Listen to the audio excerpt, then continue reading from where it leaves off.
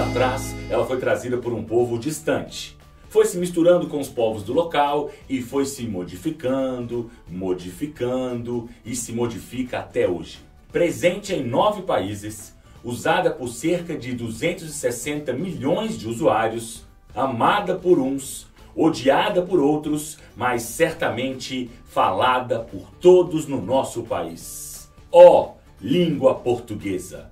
Vamos desvendar seus mistérios nesta série explicativa, com cinco temporadas. Vamos navegar pelos elementos da comunicação textual, aprendendo como aplicá-los corretamente no dia a dia. Na temporada 1, aspectos gramaticais. Na temporada 2, aspectos gerais. Na temporada 3, textos argumentativos. Temporada 4, textos oficiais. Temporada 5, textos jurídicos. Cada temporada, uma trama. Cada episódio, uma colocação. Tudo para que sua comunicação seja. seja. ora pois, correta.